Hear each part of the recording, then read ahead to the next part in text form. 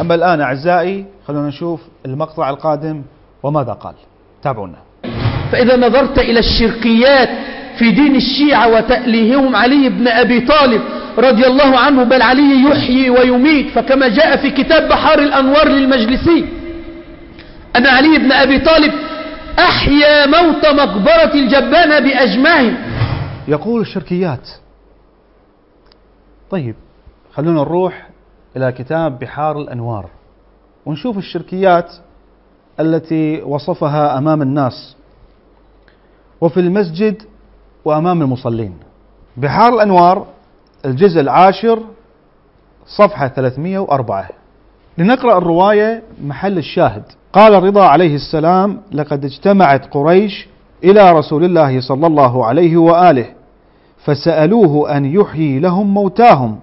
فوجه معهم علي بن أبي طالب عليه السلام فقال له اذهب إلى الجبانة فنادي بأسماء هؤلاء الرهط الذين يسألون عنهم بأعلى صوتك يا فلان ويا فلان ويا فلان.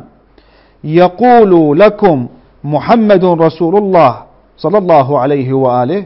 اللهم صل على محمد وآل محمد قوموا بإذن الله عز وجل. فقاموا ينفضون التراب عن رؤوسهم فأقبلت قريش تسألهم عن أمورهم. إلى آخر الرواية. قرأنا الرواية ولا أدري. هل وجدتم فيه شركيات أو تأليه للإمام علي عليه السلام؟ الرواية صريحة بأن إحياء الموتى كان بإذن من؟ بإذن الله عز وجل. فأين الشركيات؟ صريح الرواية تقول يقول لكم محمد رسول الله قوموا بإذن الله. اللهم صل على محمد وآل محمد لكن لا أدري لما هذا التلاعب. والطامة أنه في مسجد وأمام مصلين وهكذا يتلاعب ويدلس. ترى جميعهم يعتمد أمرهم على الكذب. إذا الرواية مفادها أن عليا عليه السلام أحيا الموتى. هل يكون دون إذن الله؟ لا. بإذن الله. فأين الإشكال؟ لا أدري لما قلوبهم تغلي كالمرجل إذا ذكر علي بن أبي طالب عليه السلام. لنذهب إلى ابن تيمية. ماذا قال ابن تيمية في هذه المسألة؟ في إحياء الموتى.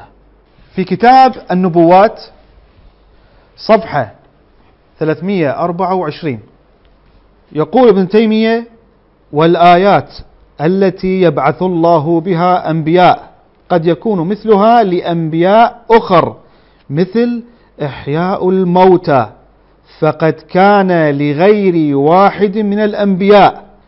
ماذا يقول أيضا؟ وقد يكون إحياء الموتى على يد أتباع الأنبياء كما قد وقع لطائفة من هذه الأمة ومن أتباع عيسى.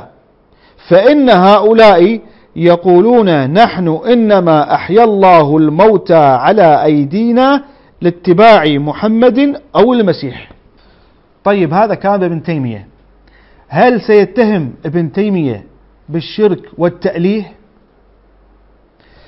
ابن تيمية يقول في هذه الأمة من أحيا الموتى. هل سيشنع عليه الآن؟